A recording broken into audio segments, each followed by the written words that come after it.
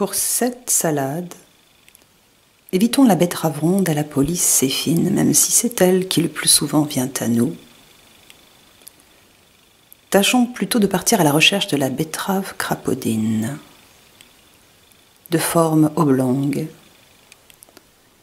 et ouvrons l'œil, car il s'agit de la dénicher cuite, oui monsieur, cuite au feu de bois, oui madame. Une fois posée sur le plan de travail, totalement offerte, la crapaudine a de quoi troubler. Sa complexion sombre, peu avenante, attire cependant et l'on ne peut résister à la tentation de toucher cette peau sèche, épaisse et ridée, presque croûtée.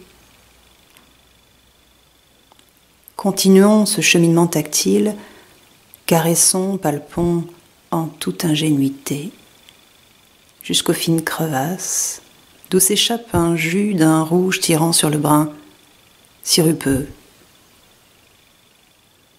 sous cette peau rugueuse et craquelée se cache une promesse, sous l'écorce un secret.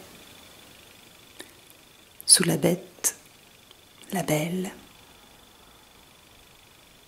Un couteau suffit pour débarrasser la crapaudine de cette carapace étrange, et c'est alors qu'elle apparaît, entière, nue, humide et luisante. Davantage encore, c'est en coupant dans la chair violacée de généreuses tranches qu'on découvrira sa densité musculeuse, si singulière. Taillons de rechef pour former des bouchées, des bouchées assez dodus qui offriront une mâche aussi ferme que moelleuse. Nous pourrions nous arrêter là et déguster la belle dans sa saveur nue de caramel au feu de bois. Mais la recette nous invite à continuer. Lavons quelques feuilles d'épinards frais, reconnaissables sous les doigts à leur vigoureuse fermeté, et émincés ou pas, au choix, ajoutons-les à notre saladier. L'assaisonnement maintenant.